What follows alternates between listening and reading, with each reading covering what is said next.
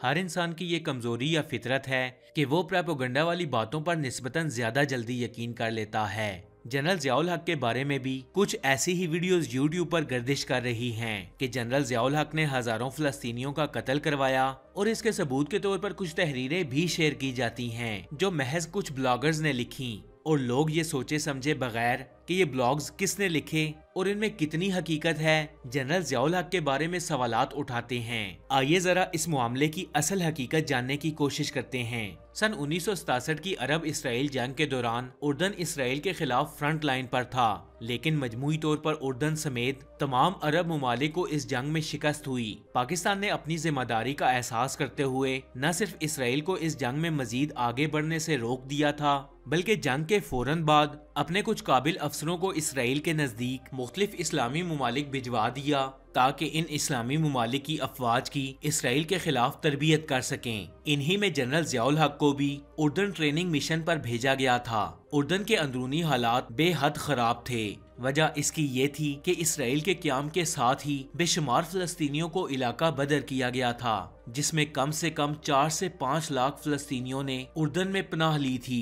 और हैरत अंगेज तौर पर उर्दन के मकामी फलस्तियों के साथ मिलकर इन्होंने उर्दन में फलस्तनी अक्सरियत हासिल कर ली। इनका गुस्सा इसराइल पर अभी भी बाकी था, जिसका फ़ायदा मिस्र, सऊदी अरब और सीरिया इस तरह उठा रहे थे कि इनकी माली और अस्करी मदद के ज़रिए इन्हें इसराइल के खिलाफ मुजाहिदाना कार्रवाइयों के लिए इस्तेमाल करते रहे और इनकी इसराइल की अल्फता नामी जहादी तंजीम से करीबी रवाबत भी बन गए। जल्द ही उर्दन में कई मुसल्ला फलस्तीनी गिरोह वजूद में आ गए, जिन पर किसी का भी कंट्रोल नहीं था। और ये मुख्तलिफ़ नामों से उर्दन के अंदर कार्रवाइयाँ करने लगे। इन्होंने अपने इलाकों से उर्दन हुकूमत की रट खत्म कर दी। उर्दन हुकूमत बातचीत और जंग की सूरत में दोनों तरीकों से इनको रोकने की कोशिश करती रही, लेकिन इनकी ताकत बढ़ती चली गई। कुछ ही अरसे बाद इन्होंने उर्दन के कई शहरों पर भी कब्जा कर लिया। इन लोगों में बहुत से जराइम पेशा अफराद शामिल हो गए, जिनको इसराइल के खिलाफ जहाज़ से कोई दिलचस्पी नहीं थी, और इन्होंने जगह जगह अपनी चेक पोस्टें कायम कर दी, और लोगों से टैक्स वसूल करने लगे।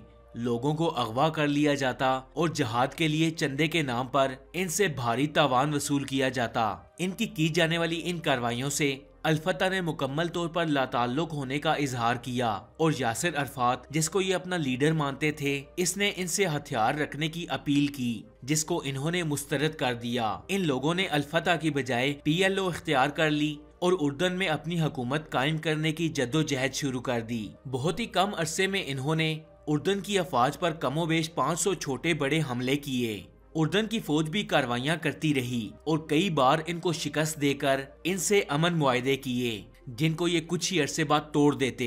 हत्या के अपने लीडर यासिर अरफात के उर्दन के शाह हुसैन से किए गए मुआदे को भी इन्होंने नजरअंदाज कर दिया।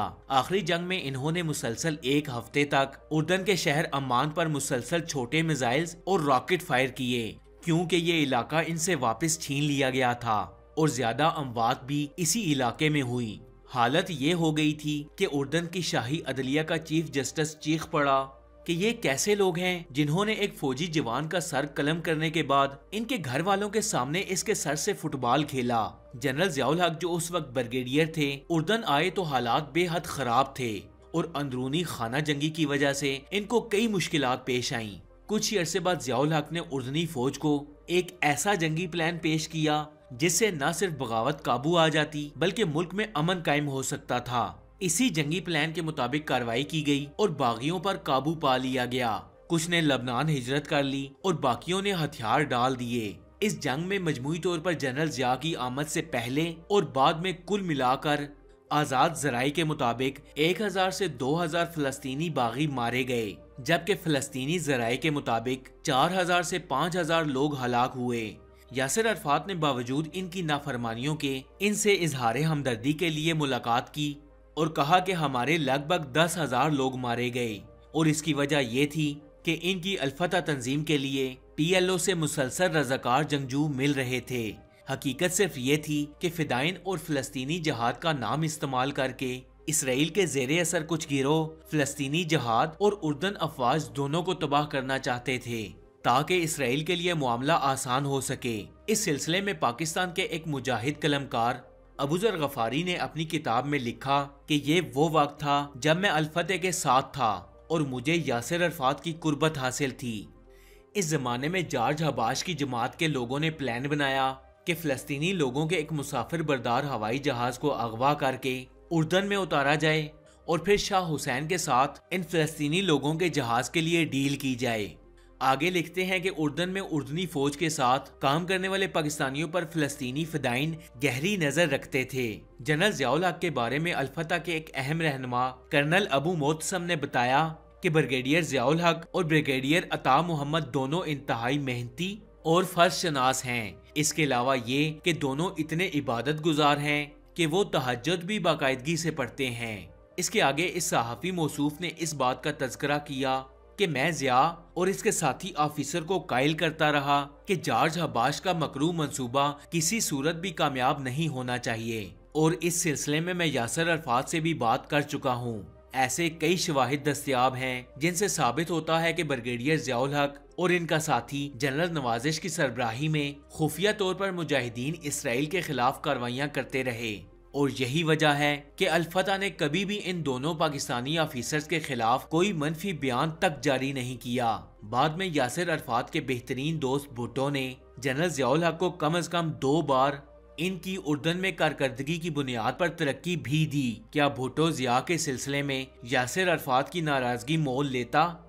अगर जियाउल हक ने वाकई फलस्तीनी मुजाहिदीन को नुकसान पहुँचाया होता तो फलस्तीनियों की उर्दन में बतौर नागुजीन दाखिल होने के बाद इस पर कब्जे की कोशिश के बारे में उर्दन जराए ऐसे शवाहिद भी पेश करते रहे, जिनसे साबित होता है कि इन बागियों को और जॉर्ज हुबाश को इसराइल कंट्रोल करता रहा।